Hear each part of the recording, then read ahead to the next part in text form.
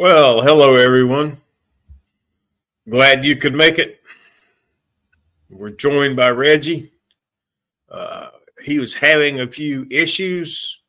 I still am. I was just trying to see if uh, looks like we're still having problems with uh, Facebook. Um, Reggie, um, you and I, can you and I get together and see why? Oh, look, now it took.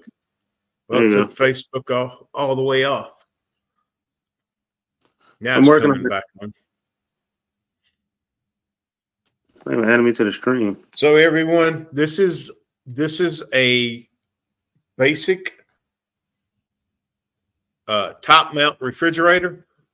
Um, we're going to go through it. We're going to we're going to enjoy it. We're going to have a good time. We're going to we're going to see what we can see if we can't uh, teach you a few things and then we're gonna we're going to uh, wrap it up with some questions.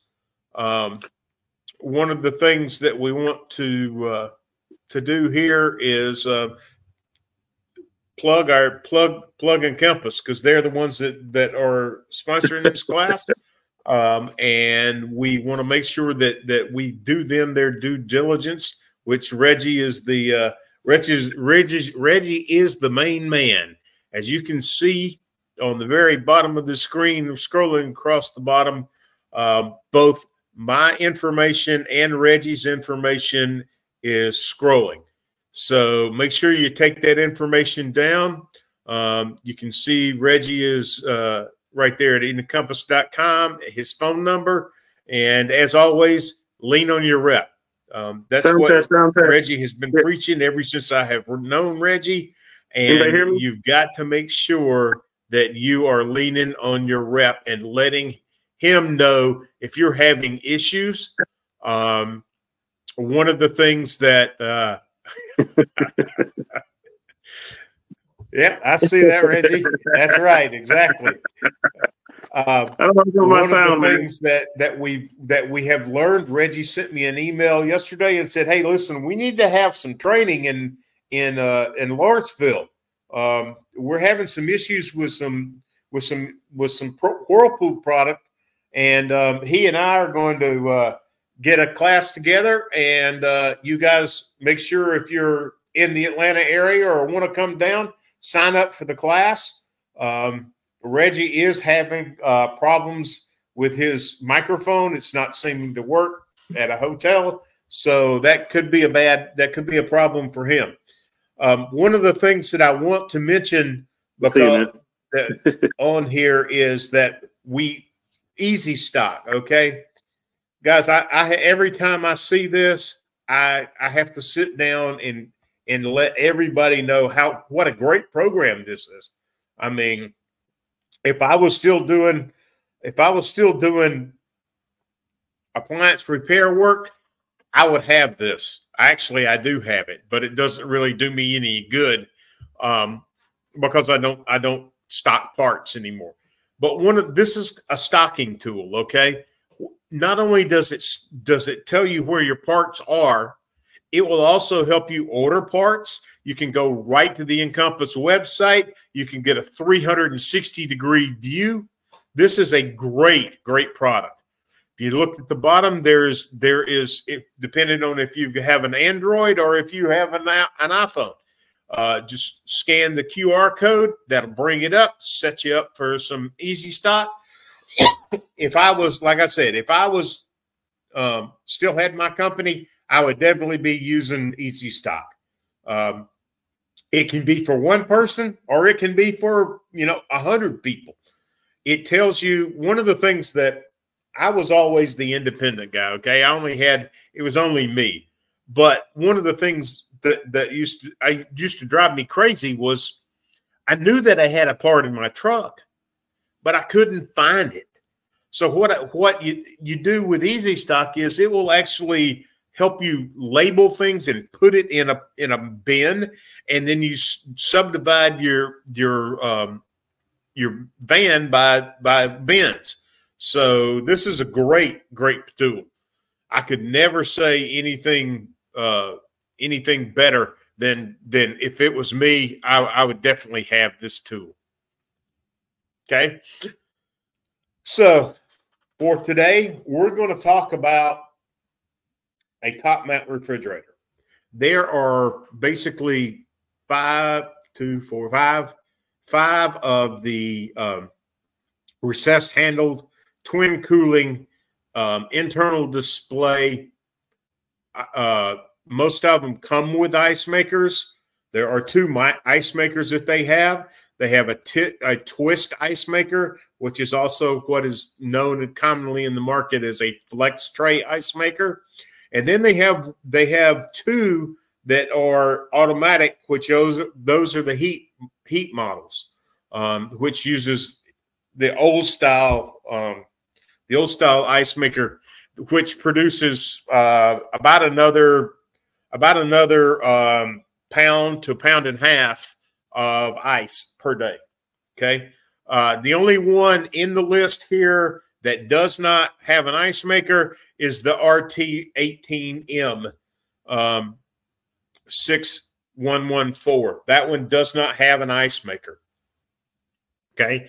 So one of the things that whenever I was I was um, doing appliances, um, one of the things you, you've always got to know is where can I get information? Okay. I've here is a listing from North America. That's the latest information. You always want to go and get all the latest information that you can get. um, things change. They find that there's a mistake in the in the um, in the manual. Um, we're going to go through the the manual that I have, and there are a couple of mistakes in the manual. Um, I've tried to correct them, uh, and hopefully they they transferred over whenever I started to correct them. Okay, one of the things that we want to make sure that we that we do whenever we find whenever we we come up on to the uh, the appliance itself. Okay, number one, if you're going to replace a part either either electrical, mechanical, unplug it if you can, please. If if you don't, you run the risk of getting getting a shock. Um, the reason I said uh, unplug it at any time, if you're defrosting, you're gonna you're still gonna have to want to unplug it because if you're defrosting the the the refrigerator, you're gonna have to have a uh, probably a, a, heat gun um, or I prefer a a um, a steamer, but you want to make sure that it's always unplugged. Okay, um, always correct use the correct replacement parts. Please get them from from a reputable dealer. Don't buy Gemline. Uh, those those parts are are not OEM specified. Um, you want to get them from Encompass. Um, I know some guys that that prefer a Chem- Encompass when they use their easy stock um, they they uh, they're able to order the parts right then all on the app um, it'll give you an update on it to tell you where it's at the other thing is um, if you're buying your parts from encompass you can always go to encompass and say hey listen i want to excuse me i want to um, i want to see about maybe getting a discount and if you've got the volume, uh, you're going to get. I'm sure that they can they can work with you to get you a discount. Okay. Um, when troubleshooting, verify that the wiring harnesses are connected securely. Uh, through this presentation, one of the, the next step that we're going to go through is actually how to replace the doors. Um, not really. We're going to swap the hinges. Is what I'm going to go through. Um, whenever I was a technician, people would get there. Would um, I actually worked for a Best Buy and Circuit City? Um, I would get. We would have the store sell something. The customer would get the product home. Lo and behold, they got the hinge on the wrong side. they thought that they wanted a right hand hinge, but whenever they brought it home and dropped it off, it doesn't work right. Um, so they needed to change the hinge around. So that's the first thing that we're going to go through is because I ran into that a whole lot. Now, if you didn't, um, just bear with me. Okay. check for visible traces of water on electrical parts. Uh, replace and secure any part that may come in contact with water. Um, you want to make sure that it, you don't run the risk of electrocuting yourself. Um, so just always be be mindful of, of water. Okay, that's not a good thing.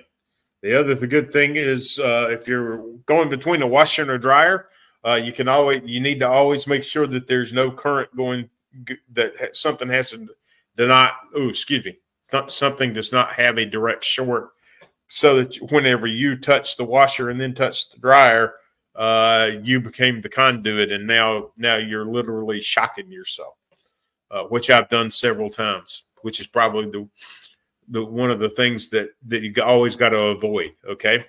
We're going to check the status of the parts after replacement. Always whenever you whenever you decide that that you've replaced the right part always make sure that you check it afterwards to make sure that what that everything is is is good um, that there aren't any loose wires that's hidden um, one of the other things that you want to do whenever i was a technician um, i was a little older than than uh, most of the guys today um, we didn't have a camera that I could take a picture of.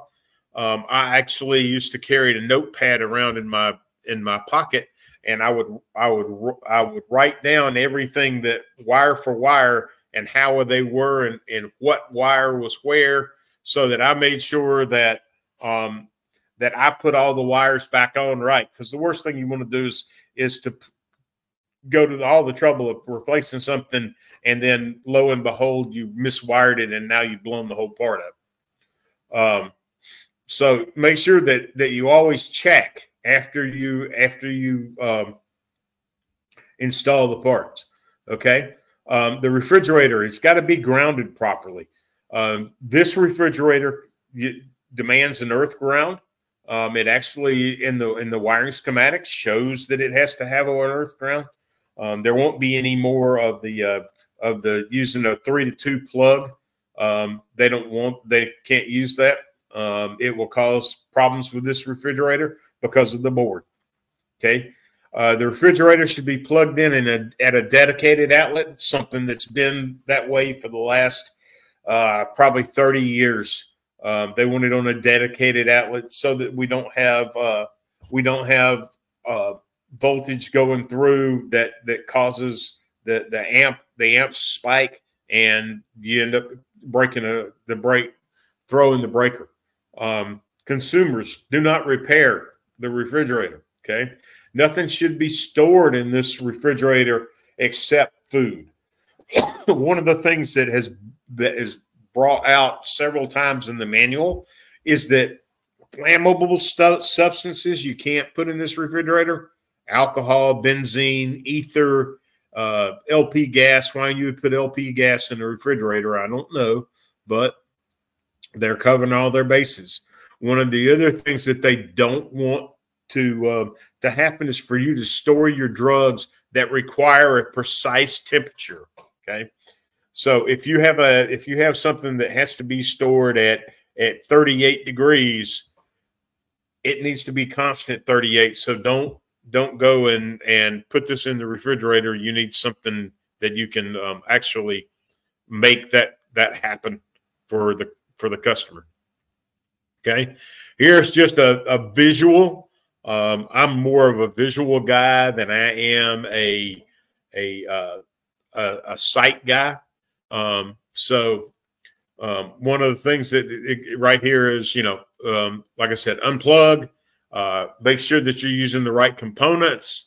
Um, make sure that all the stuff that are that in the wiring harness, if you're messing with the wiring harness, make sure that they all are, are bundled back together tightly.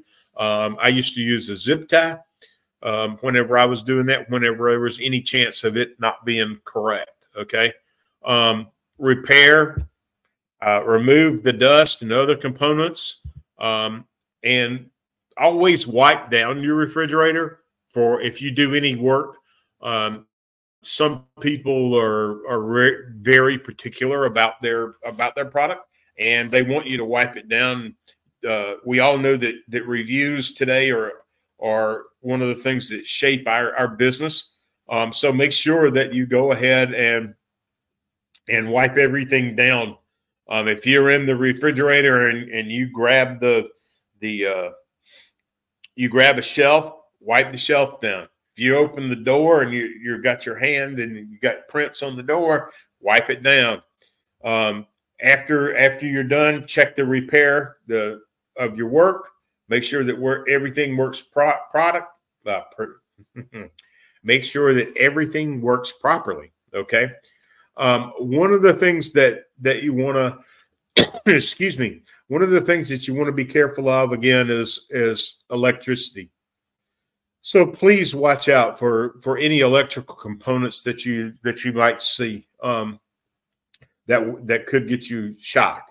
And if you do tell the customer you know hey miss miss jones listen i noticed in your refrigerator here that the way you're storing uh, your water uh, could lead to spillage onto the onto the um, light bulb, and it could short the light bulb out. And then whenever you go to replace it, it could shock you. So just make sure that you let the customer know if it's something that they can they can prevent. Okay. One of the one of the things that they want to bring out uh, really good is don't put any kind of bottle or glass inside the freezer. Um, you'd be surprised. Uh, uh, some people will put stuff in the freezer, forget about it, and it explodes inside the refrigerator. Here, let me show you. Here's somebody that's done that before. Okay, let's not let's not do that. Be be smart about it because whenever you do, it makes a heck of a mess. Okay, um, if you can always if something happens and it's and it does explode, you run the risk of of cutting yourself, uh, causing an uh, once you touch it, it could explode. All kinds of issues. Okay, um, don't allow users to store lengthy bottles in the refrigerator. Um, usually at the top, on the top shelf, um, it it you're not going to be able to close the door. It's not going to seal properly always make sure that you're on the top shelf or your butter and and your small things that that will not interfere with the closing of the door okay um, do not use uh, once again pharmaceutical products uh, scientific material put it in the refrigerator don't do that um, products with temperature controls could, should not be stored in the refrigerator um, and it could cause it just could cause abnormal generation of heat or fire if you're if you're um, storing stuff in there that is not supposed to be in there. Okay. Um, do not allow users to disassemble or alter the uh, the appliance. Um, I ran up ran into one where a lady had their refrigerator on a uh, on a hundred foot extension cord. Uh, you can't do that. You run the risk of of it, that shorting out or causing an issue with the with the um, with the board, and it it just you can't do it. Okay. Um, one of the other things, uh, don't don't put stuff on top of the refrigerator. It's it's not safe, and it also inhibits the the flow of air. So just don't store articles on top of the on top of the refrigerator. Okay. One of the things, if you open and close the door a couple of times, excuse me, um, it can move the stuff forward. Um, and when next time you open it, it drops it on your head. So just don't just be careful. Okay. Don't don't if you're looking around and you see water on the floor, number one, the, the you get I always took pictures. Okay. Uh, whenever I walked into a into a product, I didn't care what it was. If I was, if it was a washer, it was a dryer, it was a refrigerator. I took pictures before I ever touched the product.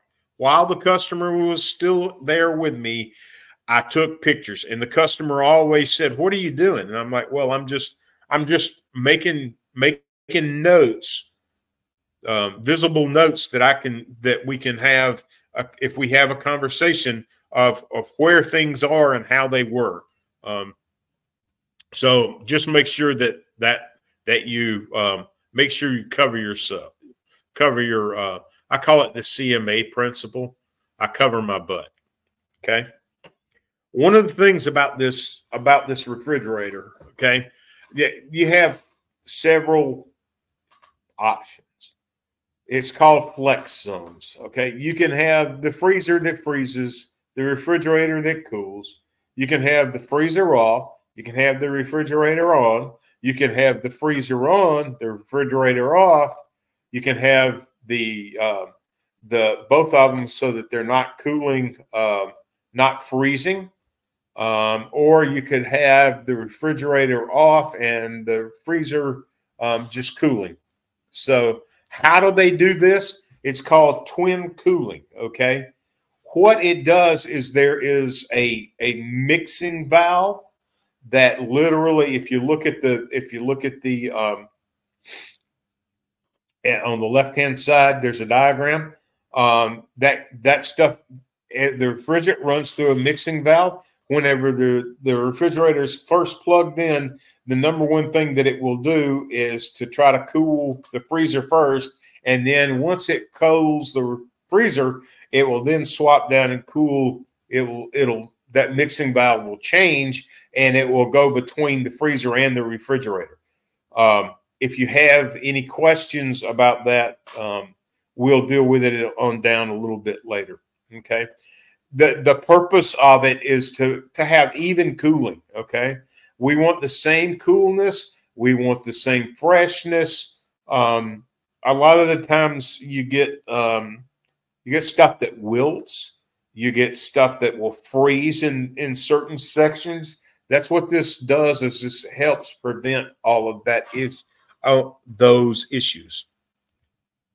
Okay. All but one have an automatic ice maker. Okay. Um, the the flex tray ice maker makes about 130 cubes if you're lucky that's the most it will make uh, a day the the the regular ice maker that's the heat sink ice maker um, produces about uh, another about another 80 to 100 cubes um, depends on how it's set and and how often it cycles um, so your ice maker um, is is a great thing here in the South. Um, we need our ice. Uh, one of the things um, I got, I I am at my parents' house. My father had a had an operation, and and I'm I'm helping them right now. Um, and he and I use a lot of ice. So the flex tray, which is what he has, um, the twist tray. I'm sorry, not flex. Uh, the twist tray is what he has in his ice maker, and it um, it almost won't won't keep up with us because we both like a lot of ice in our drinks. Okay. Um, one of the other things is there is a power freeze and a power cool. So let's say I go to the to the grocery store and I buy a bunch of produce. I can or or or anything that I need to cool down in the refrigerator. I can put power cool on, which will bring the temperature down. It doesn't really bring it down. It just, as you put items in that have gotten warm, it helps cool the whole refrigerator down so that you don't have a huge sway in temperatures. Uh, same thing with the power freeze. Um, whenever I go to Sam's Club and I buy a bunch of meat, um, and I come in and I put it back in the in the freezer. I want it to cool down as fast because I don't want to make. Sure, I do not want the it to thaw, which causes ice shards on it. Okay, these refrigerators have a a reach um, and slide pantry. Um, what it does is is it will keep the the meat and the dairy products uh, for a longer period of time along with the um, it will also help the uh, the produce. Okay, there is a there here is the uh, kind of the the breakdown of, of what's in it. Um, the R18 is on the left side, the R21 is on the right. They both have R600A refrigerant in them. Um, as we all know, R600A is basically butane. Uh, it's it's very flammable. Um, it, it uses a uh, BLDC, which is a brushless direct current motor. Um, the oil, the oil that's in it, they both they both have mineral oil. Um, the evaporator uh, is a split fin type on both of them. Um, it uses a condenser. The dryer is a molecular sieve dryer. Um, what is the, the, benefits of that? It's a it helps to reduce contamination and energy efficiency. Okay, there's your your information on your capillary tubes for both your refrigerator and your freezer. Um, the step valve, which is the switching valve, is uh, a three-way valve. Um, it goes from the from the compressor. Um, one goes to the freezer. One goes to the refrigerator. Okay. Um, the thermal fuse that prevents overheating of the freezer. That's 110 110 degrees Celsius, which is basically a 230 degree Fahrenheit um, temperature. Okay. The bimetal for preventing overheating of the refrigerator uh, is 104 degrees. Okay. On the next slide, it's just a continuation. I did, I figured that one degree Celsius, you know, is about 33 degrees. Okay. Um, you get three degrees Celsius, it's all about the same. So, you know, you're just adding 32 degrees for that basically um, for for the specifications. Okay. So this is your temperature selection. Um, your on is on at, is at uh, one degree. When it turns off, it's at minus five. That's at that's all Celsius. Okay, so minus five is not Celsius. It's not the Celsius. It's um, it's the the the uh, the minus five is the the distance of drop. It gets 0.5 degree drop. So it should be somewhere right around 30, 31.5 to 32 at uh, at 20 at 20 30 degrees, 32 degrees. Okay, the first defrost cycle is a six hour plus or minus 10 minutes. That's whenever you first plug the refrigerator in. That is the diverse the defrost cycle. Now, this has an adaptive defrost control. So what will happen is the defrost cycle in the refrigerator is about 12 hours, 12 to 72 hours. Depends on how many times the door is opened and closed. Okay. That's the condition. Okay. The defrost cycle in the refrigerator is about six to 72 hours depending on how many times the door is opened again. Okay. And the the pause cycle is about five plus plus or minus a minute. So the defrost cycle, excuse me, the defrost sensor um, is uh, five point. Excuse me, I just moved it. Uh, 5.9 kiloliters. Um, the thermal fuse is rated at uh, 350 degree, uh, 10 amp, 10 amps. Uh, the operating temperature is 109 plus plus or minus uh, a degree Celsius, which is about the same thing as it was on here, which was 230 degrees. Okay.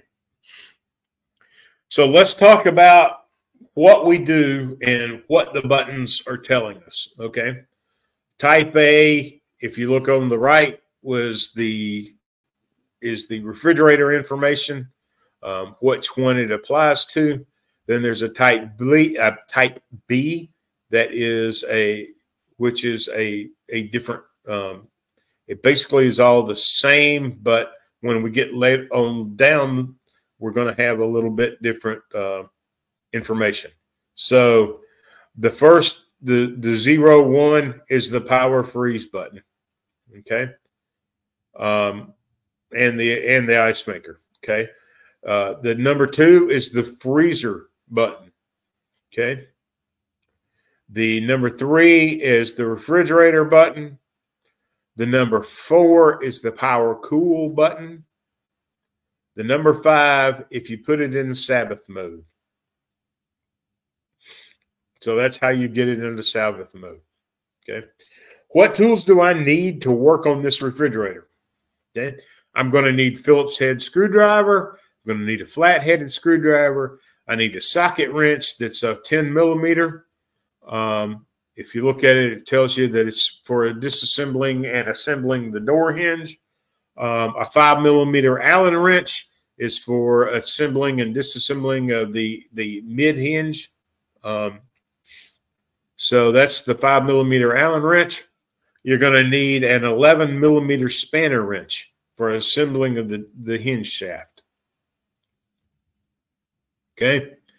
So the first thing that, that we talk about is how to change the swap of the door. Okay. So the first thing that I'm going to do is I'm going to remove the three screws holding down the top table and remove the top table. Okay. I'm going to disconnect the power the power wires that go through that.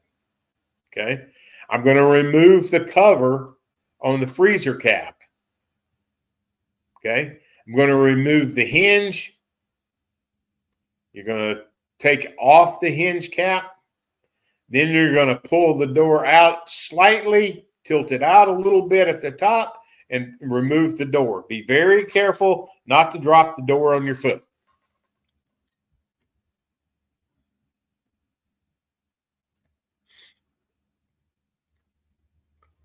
Okay, does anybody have any questions so far?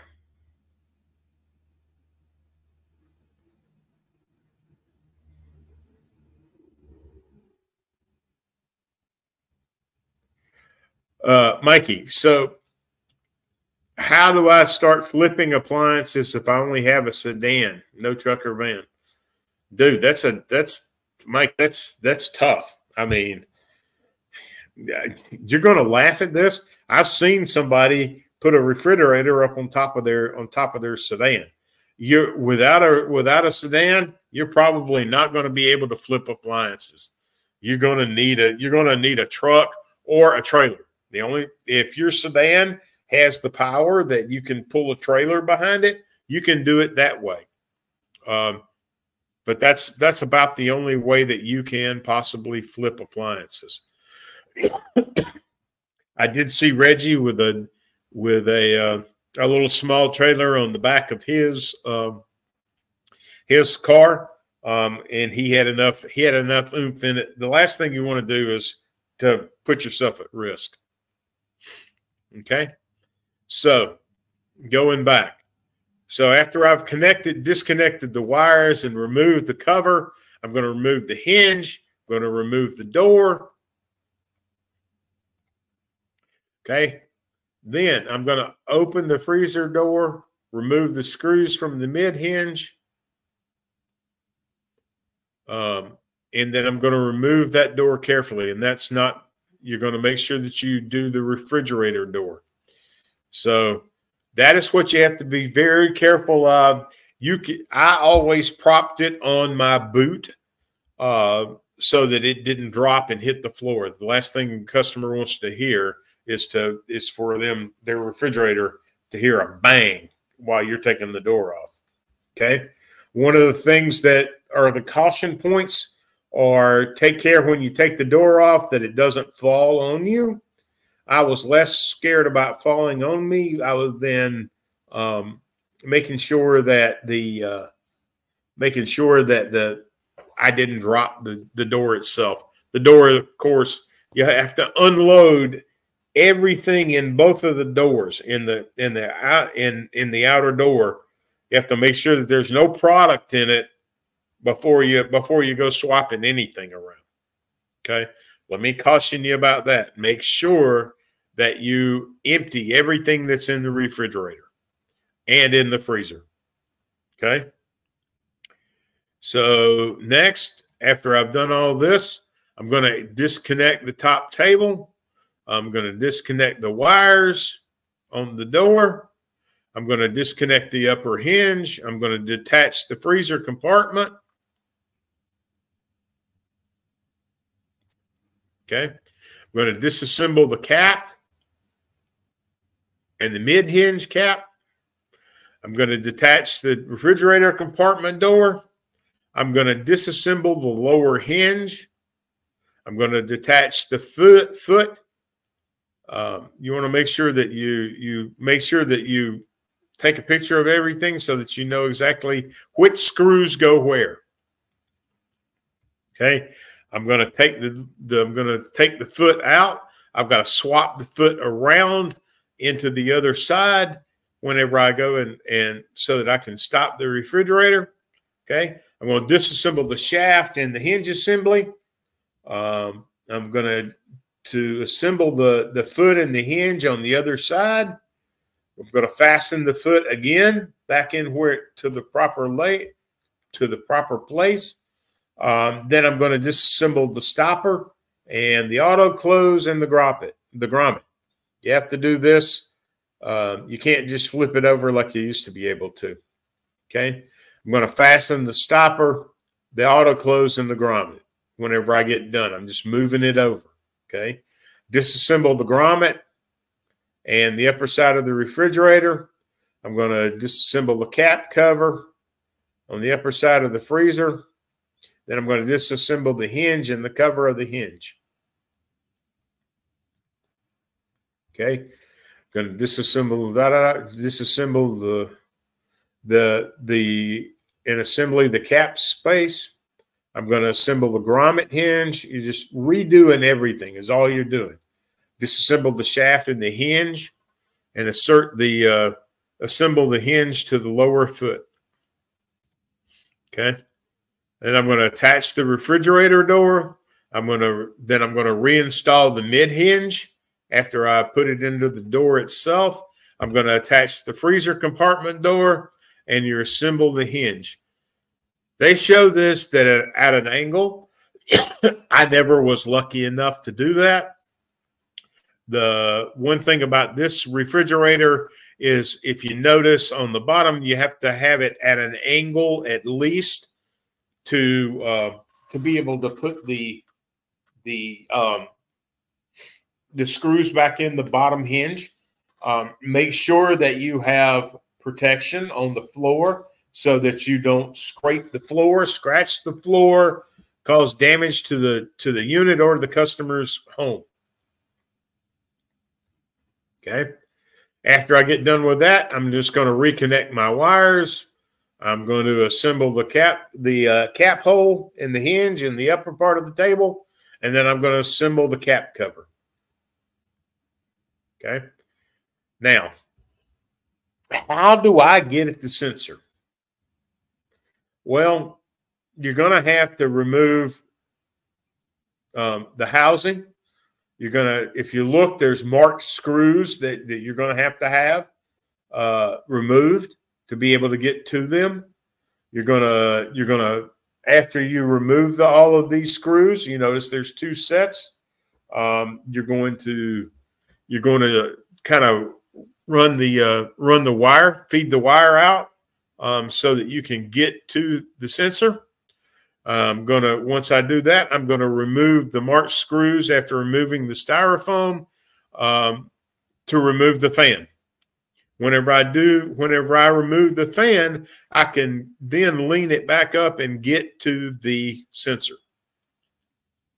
So at that, I'm going to remove the sensor and put it all back together, just reassemble by doing the exact same in the opposite order that you just did.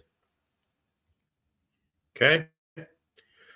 So if I want to get into the to the multi cover, here it is right here. Okay. This is for the refrigerator, not the freezer.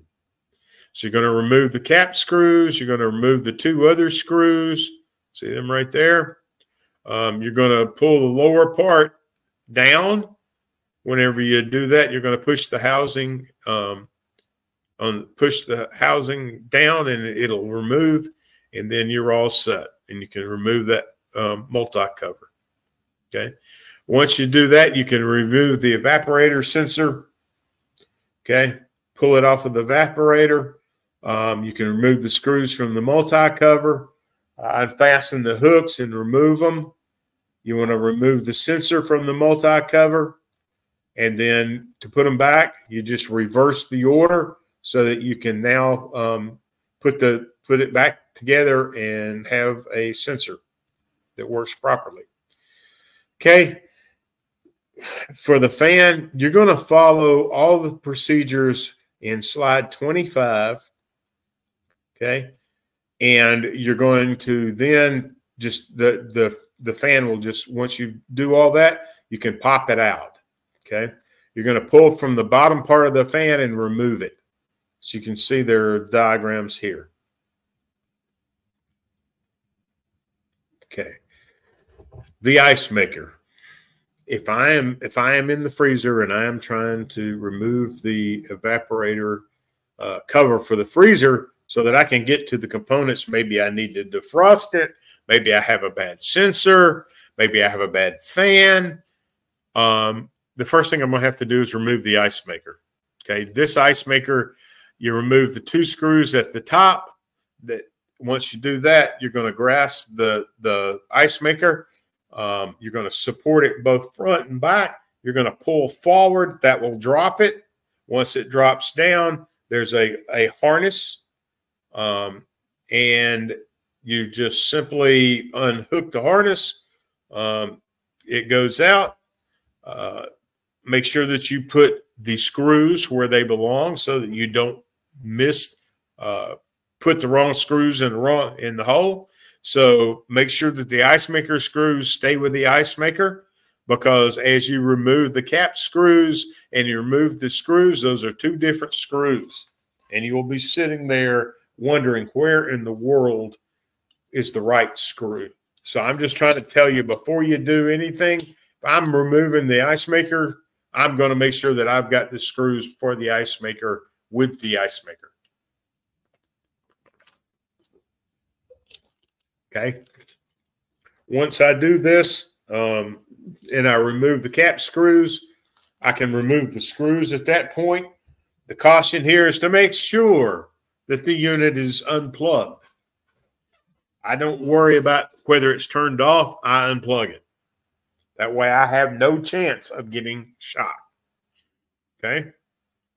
So once I remove all of the screws, I can now reach down in the in the bottom of the refrigerator in the bottom of the freezer and reach in my hand up and pull on the bottom and it'll it'll I can pull it and remove that.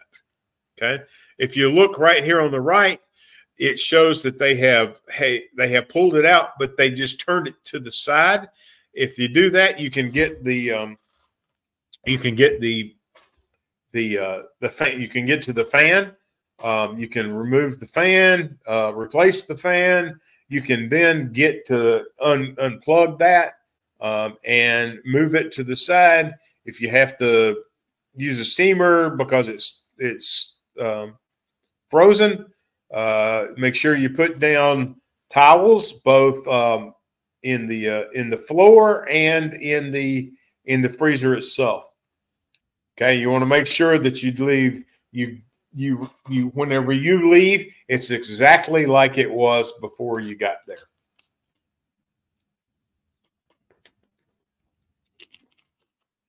Okay.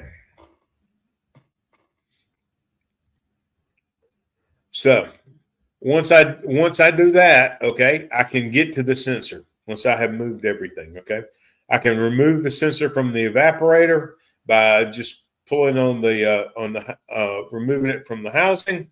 Um, you see the screws; that are that are marked. You want to make sure that you take all of those screws out. Remember, uh, righty tighty, lefty loosey. Okay. Remove the marked screws after removing the styrofoam from the fan, and then you can take the fan off. Okay. Remove the sensor. Once you remove the sensor, you can just uh, remove, you can just uh, put it all back together the way you took it apart step by step. So once you replace your sensor, you could then put it, fit it back, fit it back into the channel. You want to put the screws back into the uh, into the uh, styrofoam. Um, you're going to put it back into the cover and then uh, plug it back in. Okay. If I'm going to change the water valve, it goes without saying, I'm going to remove each of this. I'm going to, it says there's one screw each. Um, usually there's two. Okay. I'm going to push the housing water valve and, and I'm going to push it down and it will, uh, it will disengage. Um, and then I can unplug the water valve. Um, you have to make sure, number one, that you turn the water off because once you start unhooking everything, you're going to have water all over the floor if you don't. So you're gonna you're gonna remove the you're gonna remove the uh, the water valve. You're gonna set it down. I always had a bucket. I'm always going to get some residual water.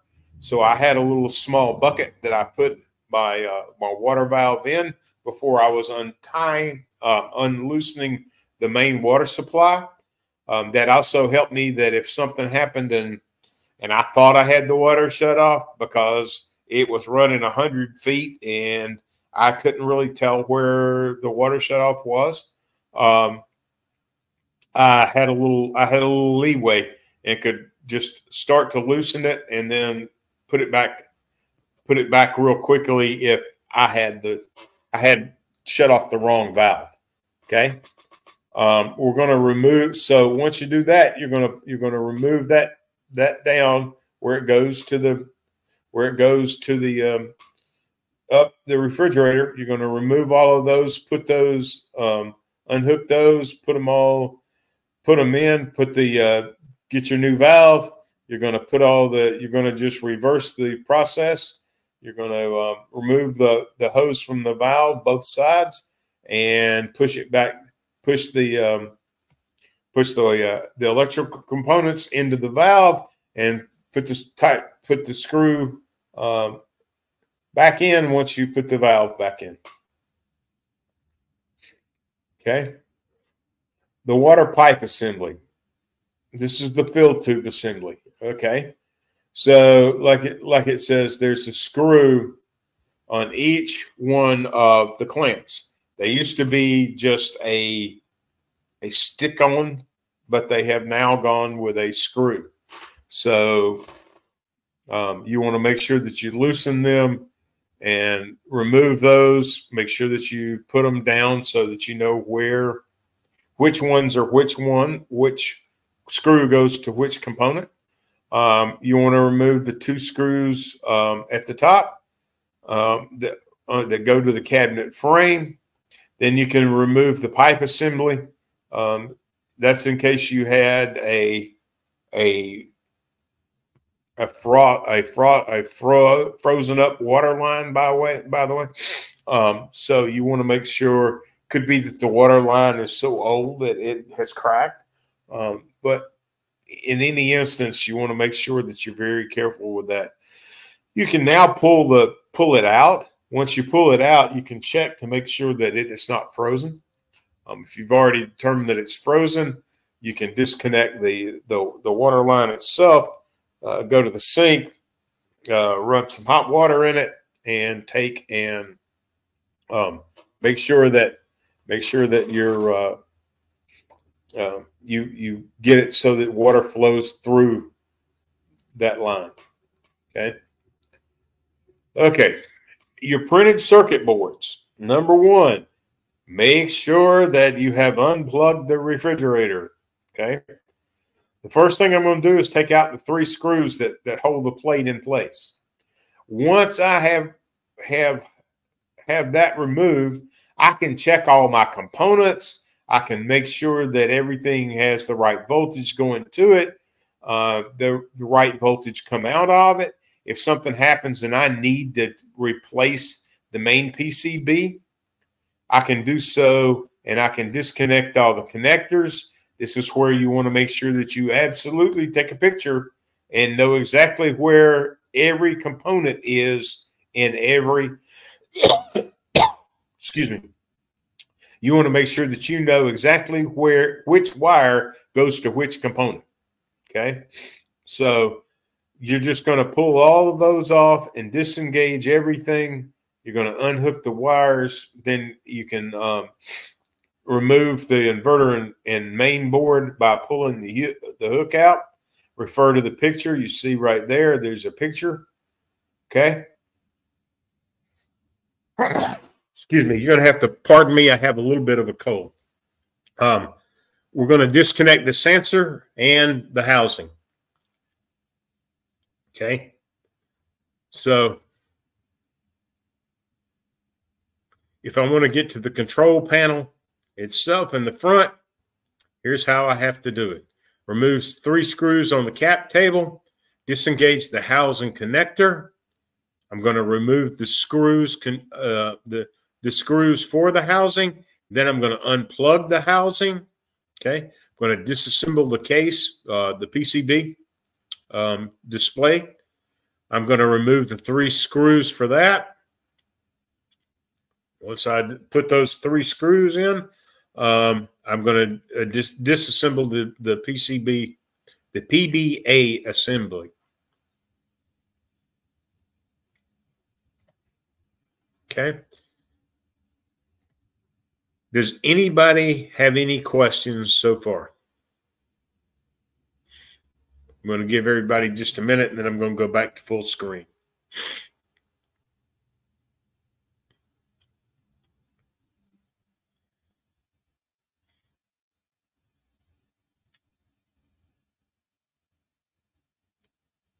Okay, no more no more questions, okay? All right. So let's talk about test modes. One thing about refrigerators today that wasn't, uh, I didn't have whenever I first started is that um, there's test modes. I can I can test product. Um, I can run a fan. I can cycle a cycle the refrigerator. I can do all kinds of things through the test mode. Okay. So to get myself into the test mode, what am I doing? I'm going to press simultaneously. Okay.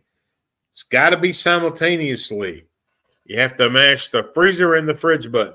You're going to hold those for about four seconds. I usually sit there and wait for it to beep and then the display will start start blinking. So once I get that blink, I know that I'm okay to release it. okay, once I do that, I'm going to press the freezer button. Once it starts blinking, I press the freezer button one time. That enters me into the test mode. Okay. So, like it, like this is basically how to do the exact same thing that we just kind of went through. Okay. You can, what I just explained right here is the freezer and button uh, are pressed simultaneously for four seconds or around four seconds. Um, the display will turn off and on um, for about three seconds with an interval of 0.5 seconds. Here you can take your freezer, your finger off the freezer button and the fridge button and press the freezer button this product will enter the test mode. Okay.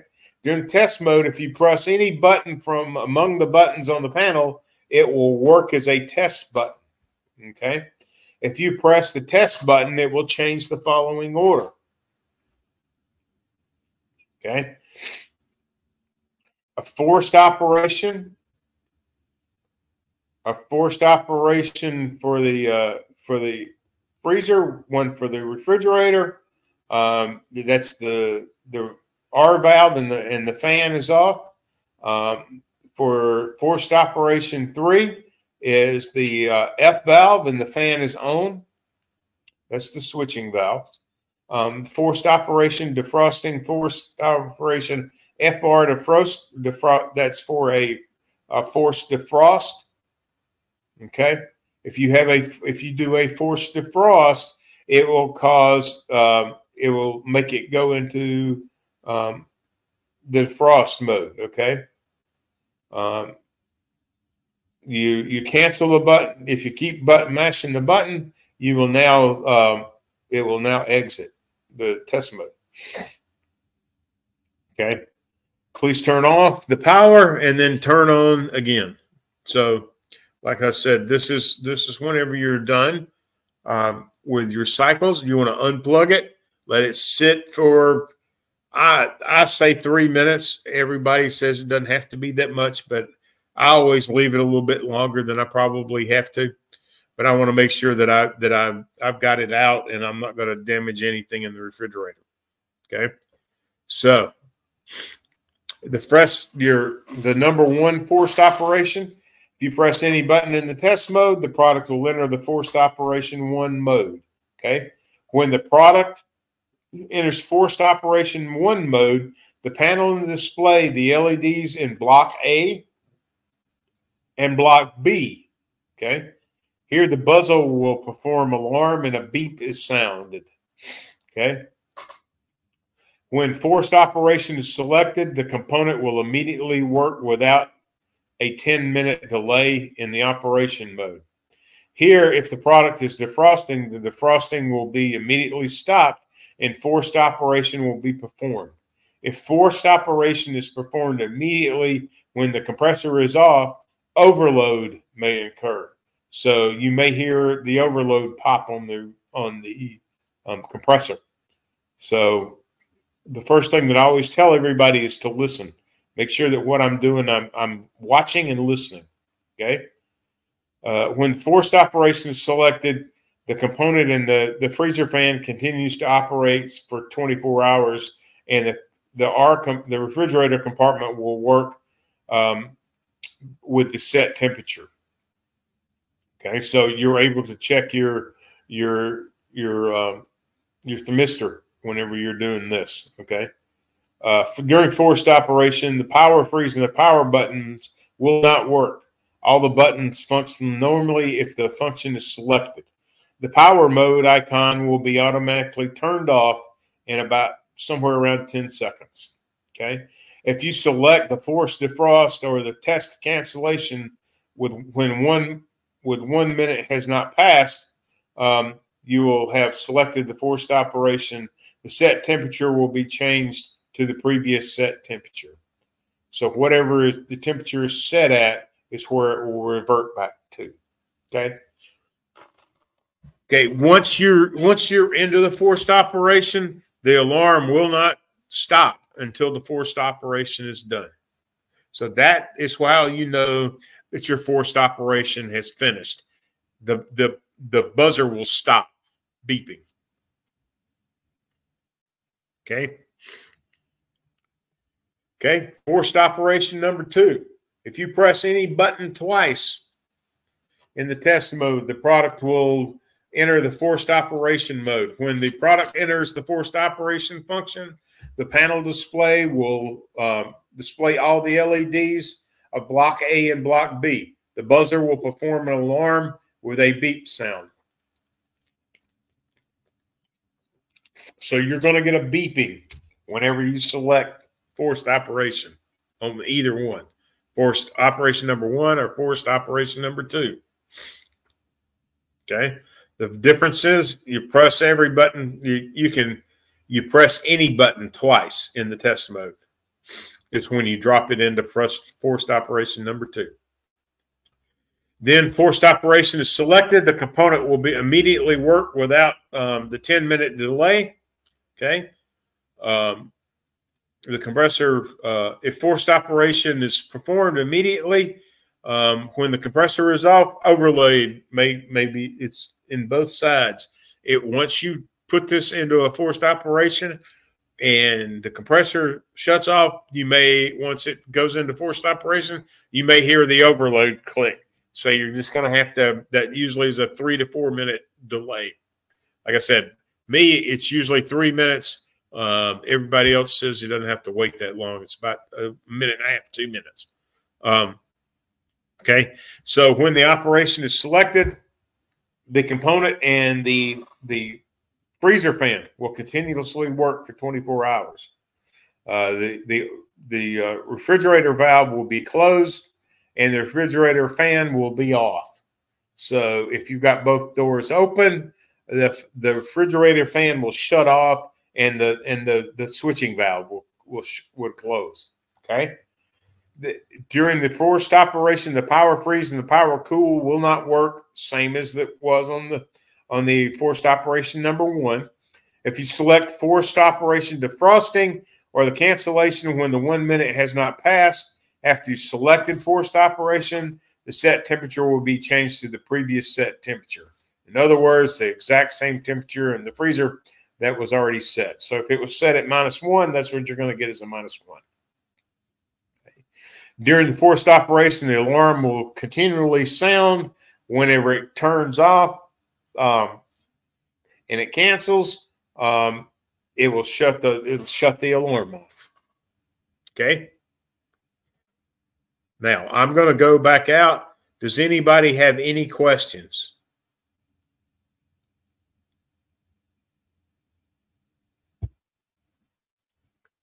Hey, 63 Impala. Did you guys did you get my uh my email that uh, I sent you on the last class where you where you had asked for a presentation? I just wanted to make sure you got it.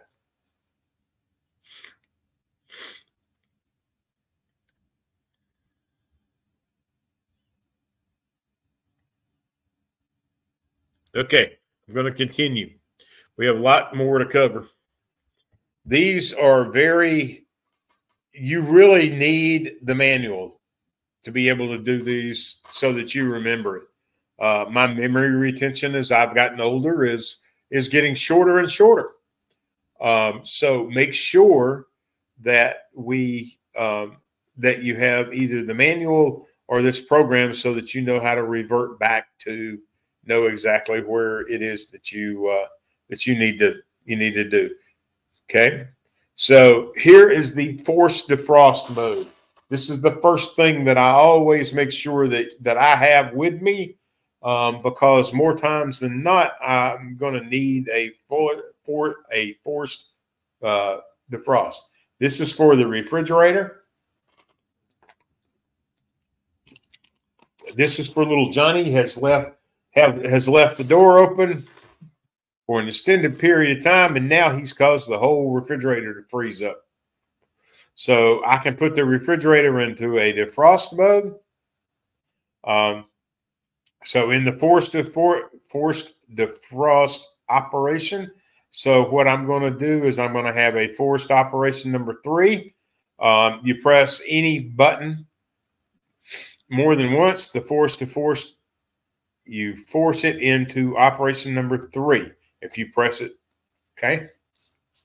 Will be immediately canceled and the product will uh, return to the forced refrigerator defrosting.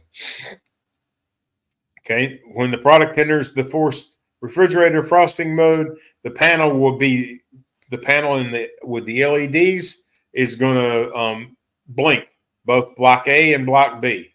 If you look, it shows you right there where they're where they're blinking. Okay. The the alarm will sound and be on for three minutes for three seconds.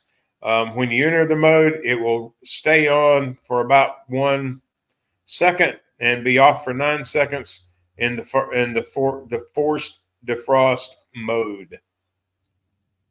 Okay. Okay. The forced defrost, forced refrigerator defrost. Okay. The forced refrigerator, the forced R defrosting status of test. Okay. when the product enters the forced defrost, um, all LEDs will blink and block A and block B. It will show you right there where what what is going to be um, blinking. So if you go back to the previous side slide, you notice that uh, forced refrigerator frosting that is two blocks that's going to be blinking. Okay, both block A and block B are blinking. There's two. Whenever it comes down here,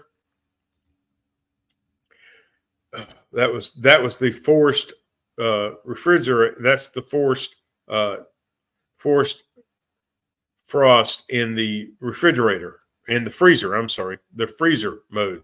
So you're going to get two here. Okay. Whenever I come to the next one, I only get one. Okay. So same thing as the other one. You, the only difference is you've only got one block that's blinking.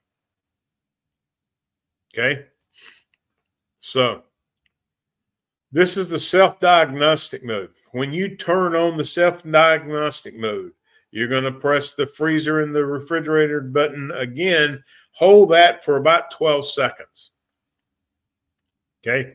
Once once it goes into it, the power is uh, the micron determines whether the temperature sensor is out or or not within a within a couple of seconds. If the defective sensor is discovered, a result of self-diagnostic and the permanent display LEDs will flicker with the interval of five seconds. Okay, so if you run into this and it does, and you get the the um, interval of the the five second delay, I mean the the blinking, um, the flickering, you're going to um, need to go to one of the other man in the other manual on down, um, so that you can test the LED. I mean the uh, excuse me, the defective sensor. Okay. Um, to cancel the error code, fix the failure, defective the sensor, or to cancel the initial set of diagnostic by pressing the freezer key and the fridge key for 13 seconds. Okay. So if you press the freezer and refrigeration for 13 seconds or longer, uh, buzzer will sound. Um, the self-diagnostic mode will be selected. When the product enters self-diagnostic, mode, all the LEDs will be off. And there is a, um, excuse me, if there's an error, um, the error will display with uh, for about 60 seconds. After that, the product will return to normal status. Um, if a if a buzzer sound um, made, check the refrigerator, check the list below for self-diagnosis. Okay. Input by the button is not accepted when the self-diagnostic mode is on. So you can't you can't get uh, you can't change like the temperatures. Okay. So here are the modes that you're going to see. This is the uh, the freezer. This is the um, refrigerator. Okay, you see all the buttons. Need to remember these. We're going to go back to this, okay? So the self-diagnostic. Uh, so if we have a, a, a, a, if it determines that there's a F5 on the display, uh, that's going to be that our we have a defrost error. Okay, so when the defrost time is ended, um, you're going to have to go in and you're going to have to replace the excuse me, you're going to have to replace the uh, the the the sensor. Okay, um, if you have an ambient sensor problem, it's a little more difficult to change, um, but it shows you right here what you're going to have to do to uh, to change that sensor. Um, what does that tell you? It's telling me that the ambient temperature is incorrect. Um, if I have a, a freezer sensor, you get an F3. If you get a refrigerator sensor, there's an F2. If you have a uh, freezer um, defrost sensor, That's an F1. Okay. If you notice, it's on each, it shows you exactly where it is on each one. Okay. If we have an R6, that's a uh, freezer fan error. Okay. If you have an R5, that's a, a condenser fan error. I'm sorry. A an R5 now is a uh, is a restrictions a restriction to the sensing, uh, which is up in the refrigerator. I mean, in the freezer section. Okay. Um, where if we have an F3, that's just a compartment error. You're going to have to go to the board. You're going to have to do some diagnostics. Um, you're going to have to um, check the compressor, make sure that everything on the compressor is, is working properly. And you're going to uh, you're going to either have to replace the board or fix fix the problem that um, that's indicated. Okay, the um, the fridge light is off with the LED. Okay, you could have a bad uh, a refrigerator defrost sensor. That's if your light if your refrigerator lights off. Okay, if you have a um, a uh, fan restriction, we're going to get a, a power freeze LED that lights. Okay, if we have an ice maker problem, ice on the on the LED, um, you're going to get an ice maker sensor and a uh, function error. So you're going to have to disassemble the ice maker and and and check it before you do anything else. Okay. Here again, F3 is the F is the sensor. Um, gives you the voltage here. Okay. F2 is the refrigerator sensor. Uh, so it's F3 is the freezer. F2 is the refrigerator, and it gives you the voltage. Okay, these are very important voltages that you're going to need. And F1 is the freezer defrost sensor. Okay, I can tell you that I have replaced quite a few of the of the F1s. Um, and some of the times it's it's actually the voltage going from the from the uh, board. Somehow it, it, it loses the, the board uh, loses sending the correct voltage. Um, but you're gonna you're gonna make sure that you ch you check you check your voltage um, on your main PCB because you should get uh, four to five uh, ohms volts. I'm sorry, four point five to five. Okay, the freezer off um, could be the voltage for the main PCB. Shows you where it's located in that refrigerator section at the very top there. Um, if you get an F4, that's the uh, that's the voltage between the main PCB and should be within same thing, 4.5 to 5.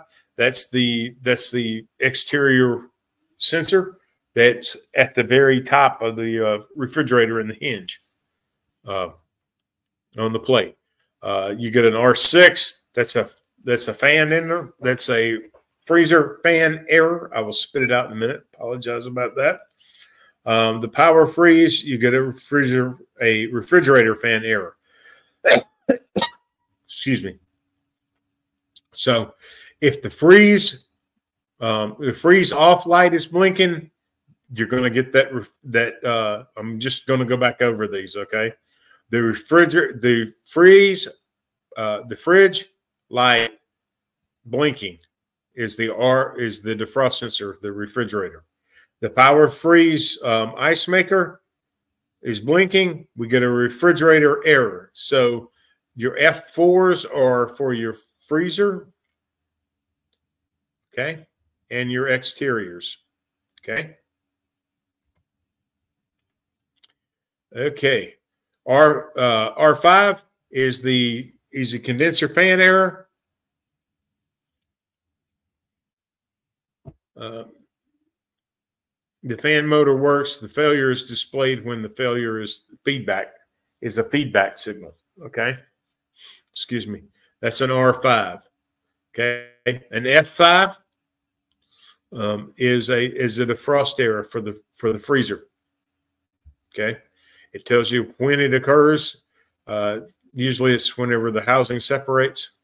Uh, it's related to the freezer compartment. Um, that a frost heater contact is an error, so you're going to need to go back up and check all the all the connections there. If you have an ice maker error, uh, you're going to get the the light uh, blinking. So you want to make sure that uh, you have all of those.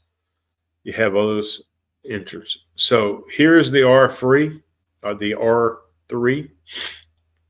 Oh, pardon me. It's a compressor error. The error will display when the compressor has failed. Okay. These all came directly out of the manual. This all gets back to um, some of the things that didn't actually line up. Okay, so the compressor error is an error displayed when the compressor has failed. It has nothing to do with the ice maker plug.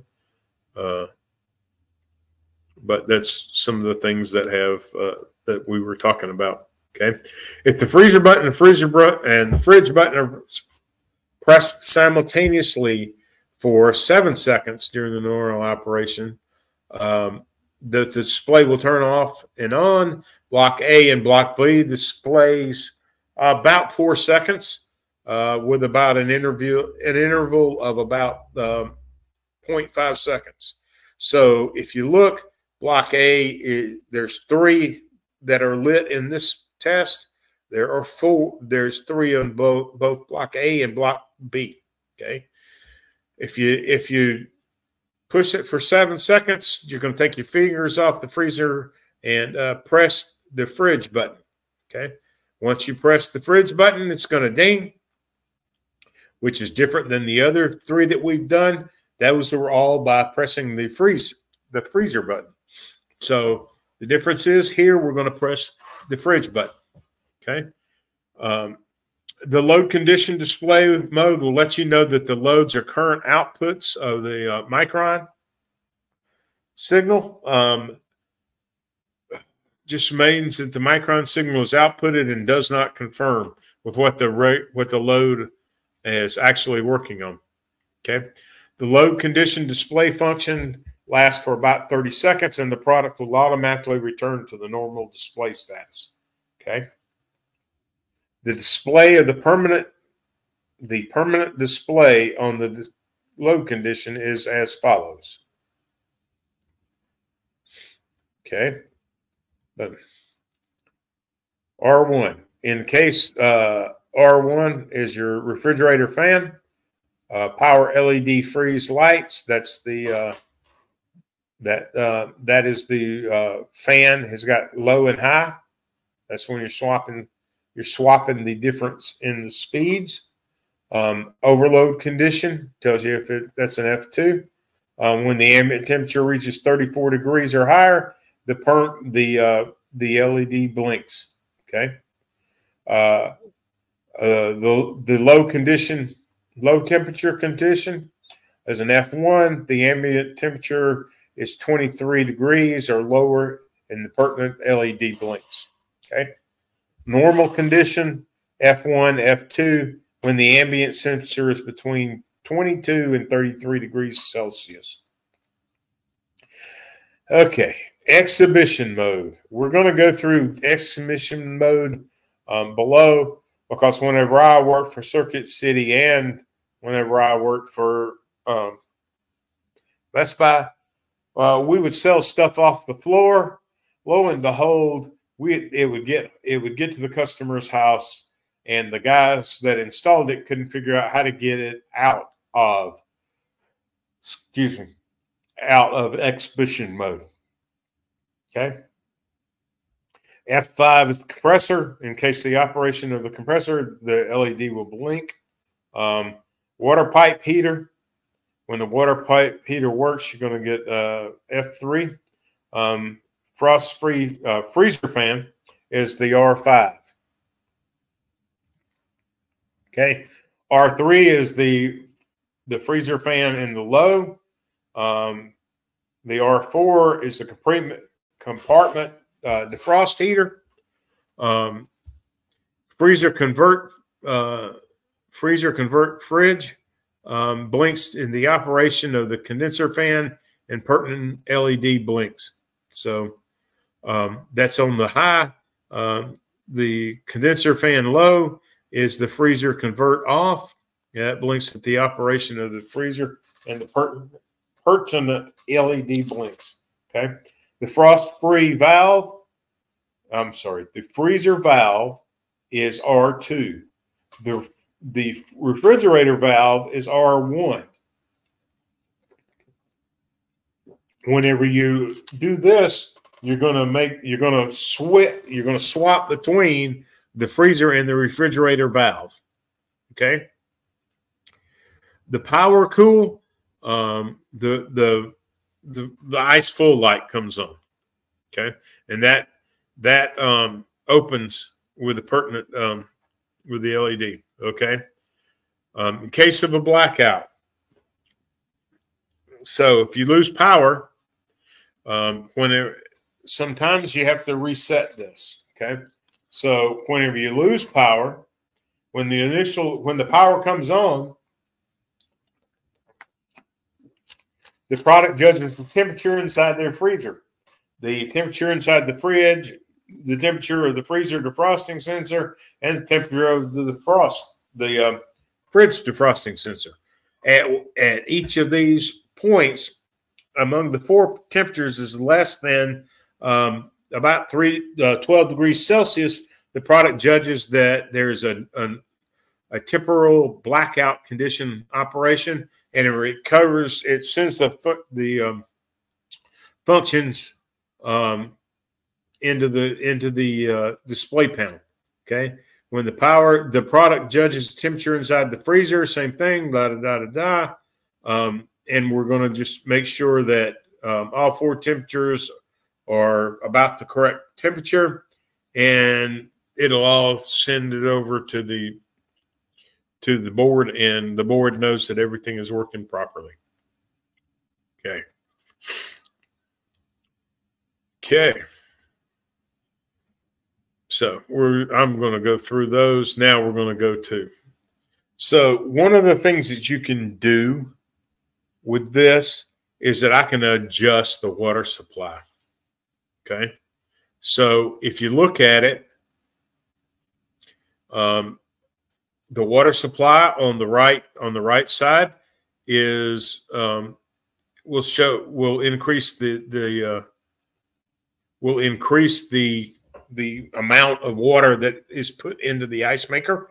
Um, you may need to adjust that as the customer's refrigerator gets a little older. You may need to bump it up just a little bit. Usually, you don't have to bump it down.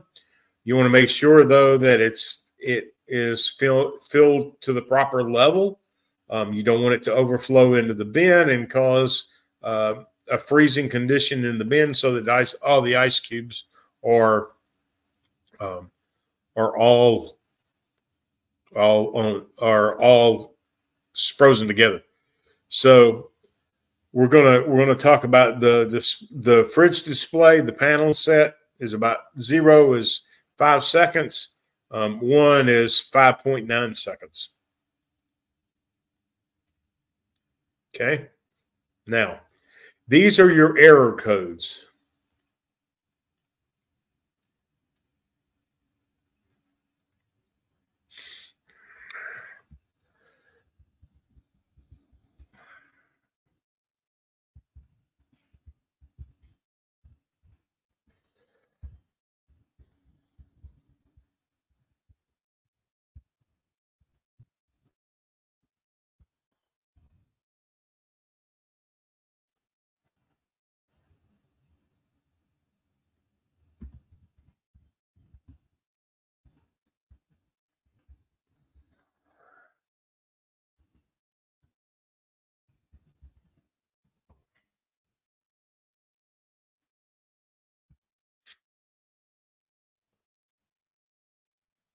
Hey, Impala, will you do me a favor? Um, type in your your email again for me, and I will make sure that you get that other one um, from two weeks ago.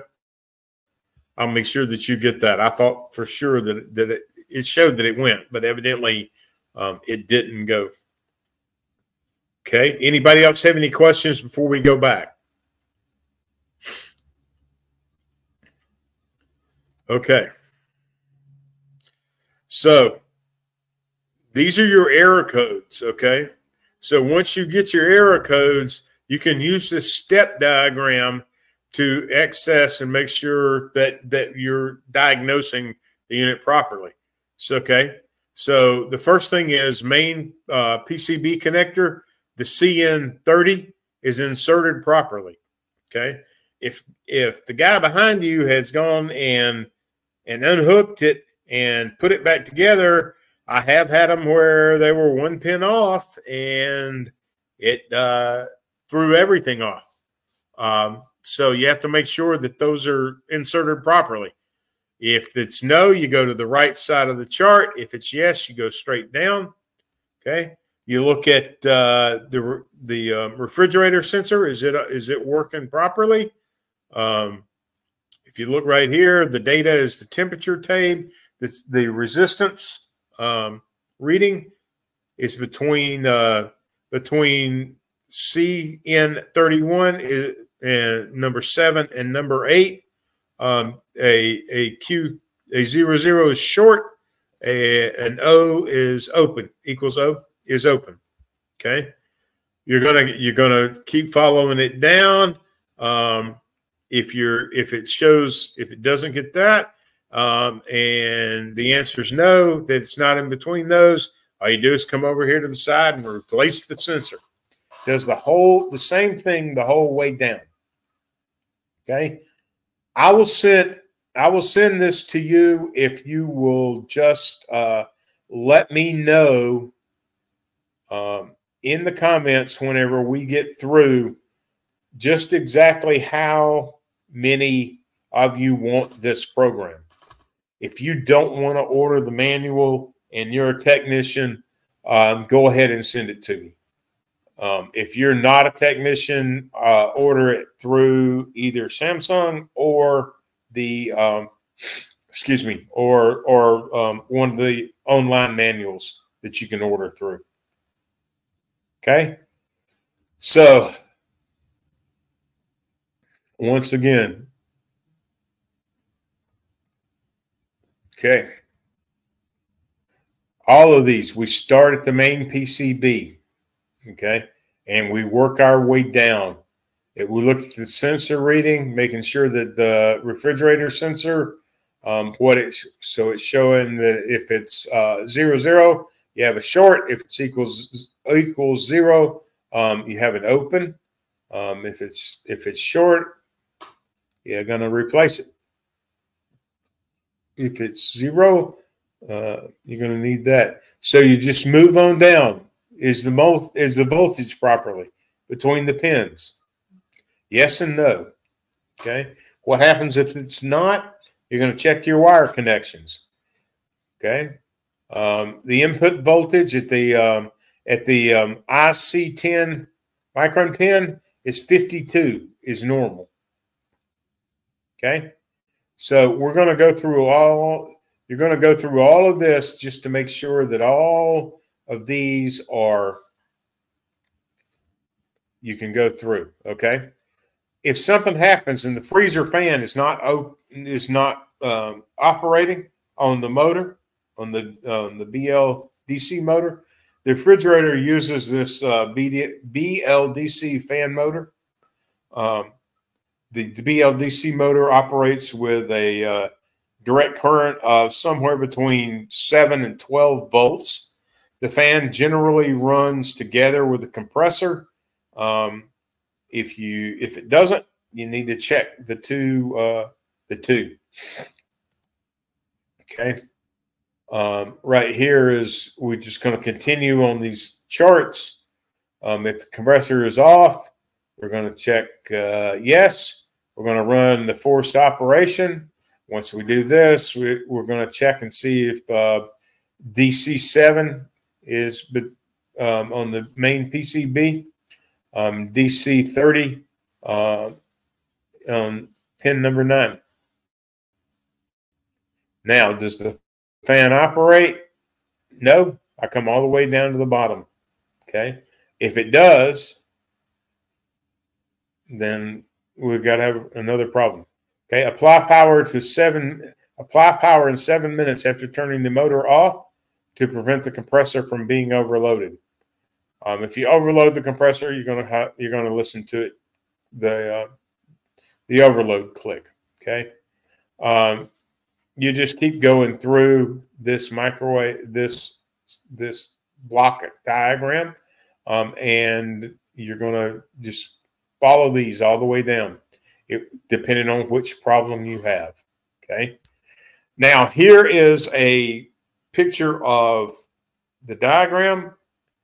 I'm sorry, of the board, and you're going to go through and see see pin C9. Uh, connector C90 is the ice maker. Um, the the other one is are the other um, connectors. If I have this is what shows me um, what it, what goes to it. Okay, so now we're these are the pins that I'm going to go to um, that I know which ones to look at. Always go to your to your. I always tell you always go to your wiring schematic so that you know exactly which pins go to where. Okay. If you have any questions, let me know. Okay.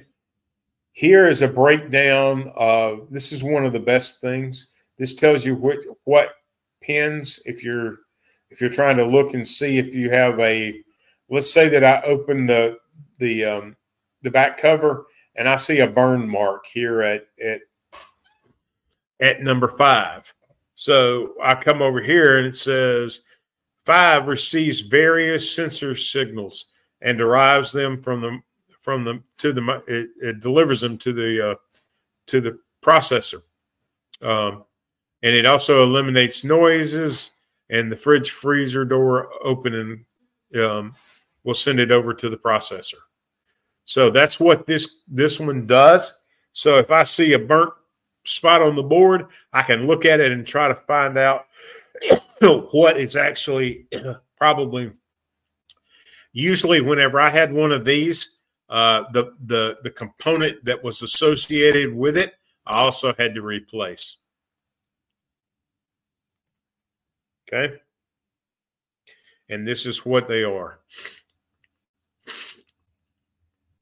Okay. We're at a minute and 33 seconds. I mean, one hour and 33 seconds and eight seconds. Does anybody have any questions? If you want this, oh, we dropped down to two people.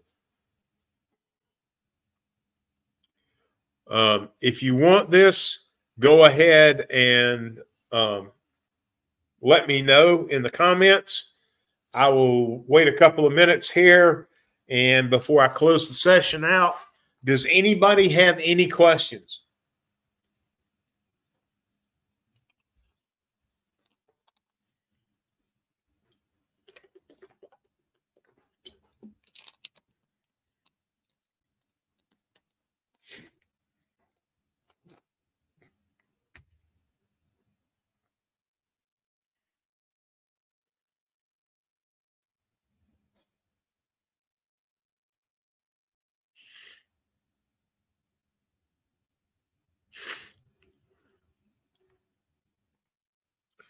Okay, everybody. Oh, okay. Um, MW, or maybe it's MIW.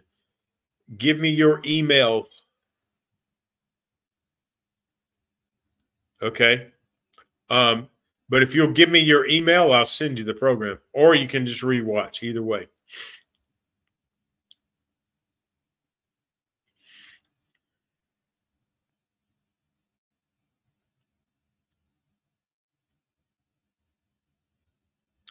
Okay, everybody. I really appreciate everybody's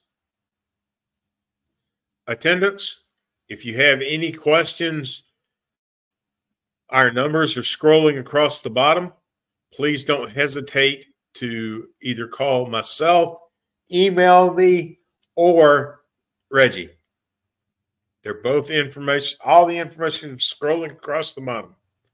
Once again, thank you very much. Have a wonderful day, and please be safe out there.